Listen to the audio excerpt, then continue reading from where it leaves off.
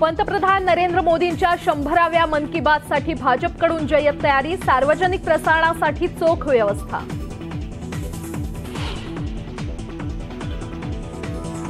राज्यात पाच मे पर्यंत पावसाचा अंदाज तर पाच जिल्ह्यात गारपीट आणि विजांच्या कडकडाटासह अवकाळी पावसाचा अंदाज.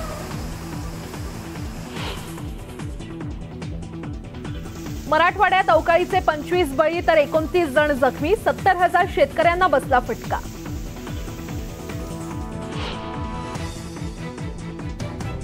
अमरावती जिल्हा सामान्य रुग्णालयात मध्यरात्री शिरलं अवकाळी पावसाचं पाणी. रुग्णालयाचा वीज पुरवठाही खंडित.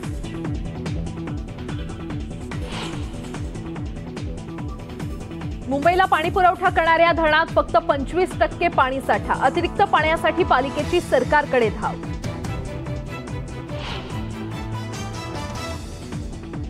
बाजार समित्यांच्या निवडणुकांची रणधुमाळी. आज राहिलेल्या बाजार समित्यांचा निकाल जाहीर होणार. अनेक दिग्गज नेत्यांच्या पॅनलला पराभवाचा धक्का.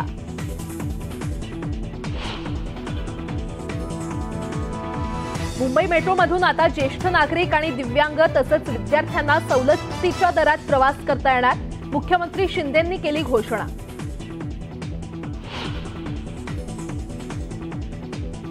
मुंबईत एप्रिलमध्ये मालमत्ता विक्रीतून विक्रमी महसूल वसुली. नऊ हजार आठशे सदुसष्ट मालमत्तांची खरेदी विक्री.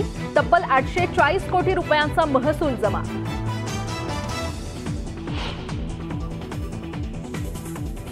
सायबर गुन्ह्यात सर्वाधिक प्रकरणं महाराष्ट्रात. भारतातले अडुसष्ट टक्के इंटरनेट वापरकर्ते सायबर गुन्ह्यांना बळी पडल्याची धक्कादायक माहिती.